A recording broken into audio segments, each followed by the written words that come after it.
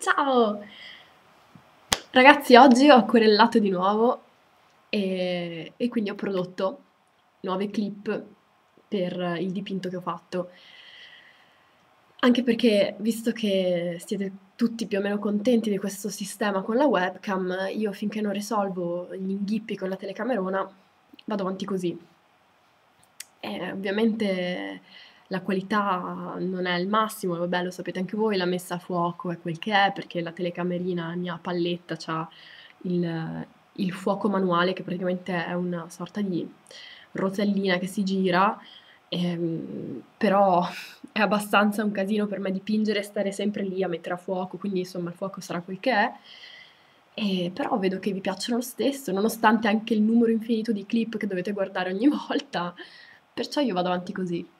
E poi fatemi sempre sapere voi se c'è qualcosa che posso migliorare, se posso far diversamente, eccetera. Sono contenta che mi abbiate detto che vi va bene così che con la mia voce che parla piuttosto che la musica, significa che forse non dico totalmente scempiaggini.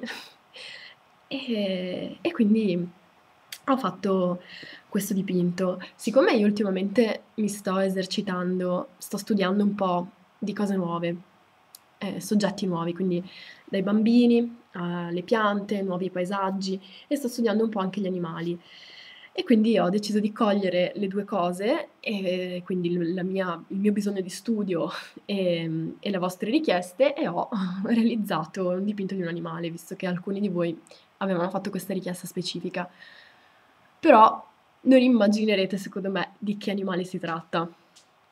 Perché generalmente quando si disegna, si dipinge, si pensa a un animale da dipingere, si pensa al solito animale carino, coccoloso, quindi il cane, il gatto, il coniglietto, il cricetino, qualcosa di, di carino, domestico. E invece io no, invece ho fatto un animale um, che secondo me è troppo poco considerato da vivo, vivo e crudo. Ovvero, tan, ho fatto la gallina. Ne ho fatte ben due, tra l'altro, più il pulsino, un pulsino qua, se non lo vedete mai.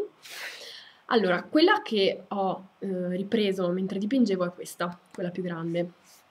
Questa qui invece, quella sotto, che vedete con questo sfondo assurdo tipo flash, tipo globi di luce, questa cosa un po' strana.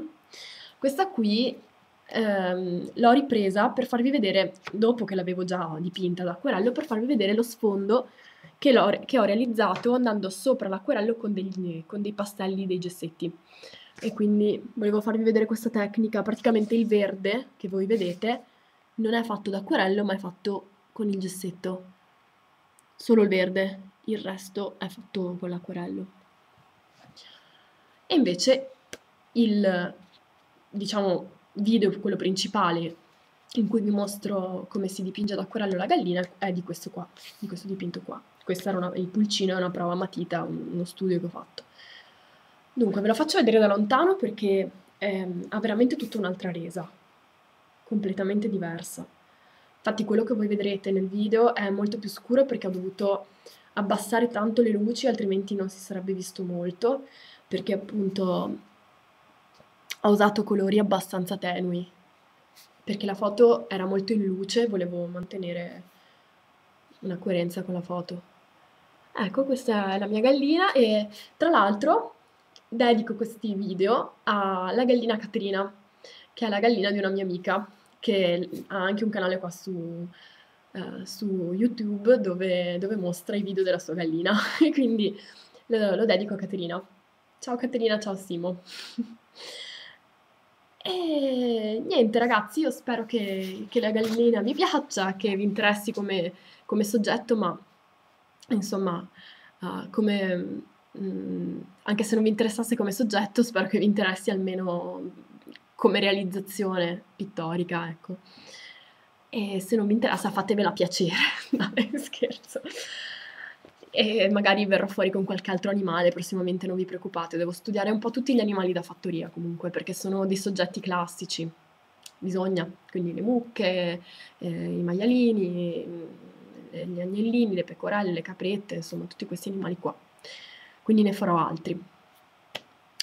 basta, detto questo, io mm, vi esorto ancora una volta a contattarmi eh, per qualsiasi domanda, qualsiasi dubbio, qualsiasi critica, qualsiasi, mm, qualsiasi cosa vogliate comunicare con me, comunicare a me, qualsiasi cosa volete, vogliate comunicarmi. Vabbè, ah, vabbè, vabbè.